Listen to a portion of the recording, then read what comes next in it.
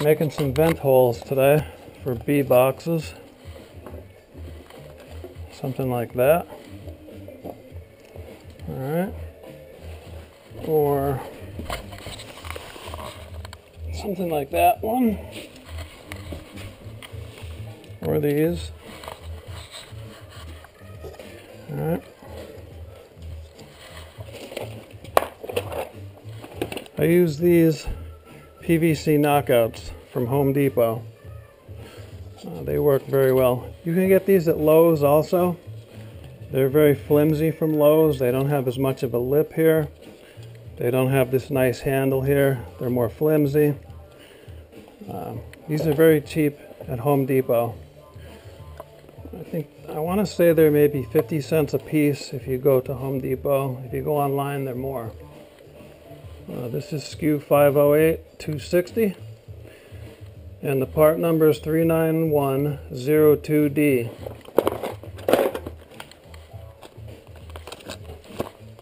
And I'm using these Spyder hole saws. These are new to me. I I always used uh, Lenox or Bosch or any other, you know, the regular hole saws we've all seen. I always saw these in Lowe's and thought, ah, it's probably just some gimmick. How good could it be? So I got one, tried it, and I can't say enough about them. They're, they're very good. They drill a cleaner hole and they're much faster. It takes much less effort to make a hole with this.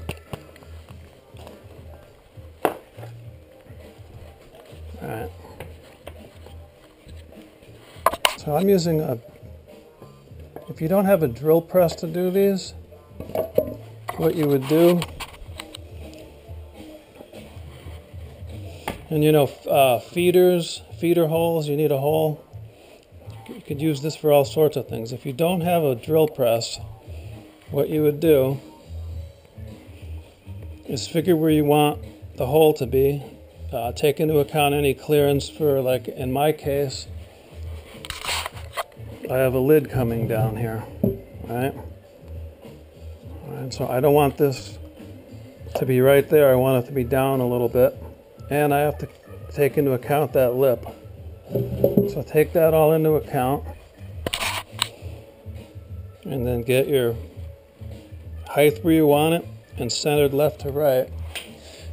And without a drill press, what you would do to make these all repeatable and faster once you get that mark, just pre-drill one, the quarter inch bit,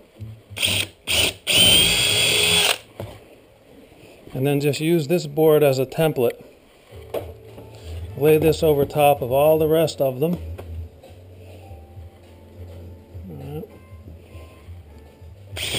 Then drill through the next one.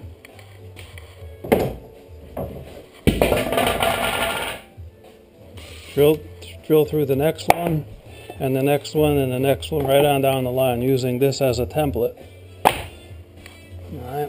And once you have all your pilot holes, then you just come along with your hole saw and you're right in the same spot. Drill them all much faster for you. So I already set this up. centered and I have a stop on there. I'll just do one or two of them with this.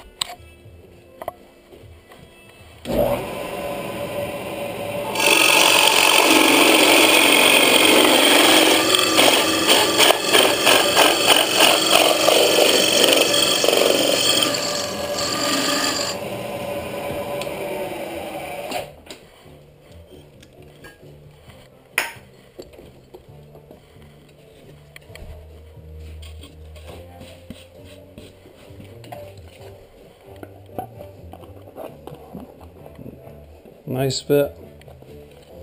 If you put a little paint in here, it'll snug it up just a little bit more. And plus, if you get water coming down in there, it won't rot this wood out.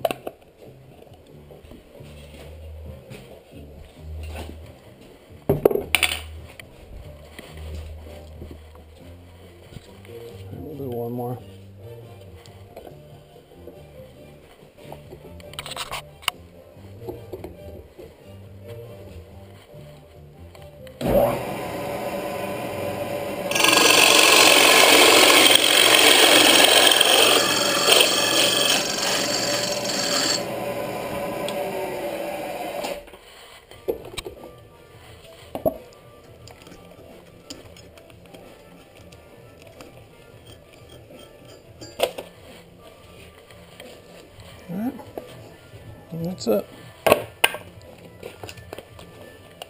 So if you're not using these Spyder hole saws, try one. They're not that expensive either. They, uh, as you can see, they have carbide tips here. I don't know if you can see that.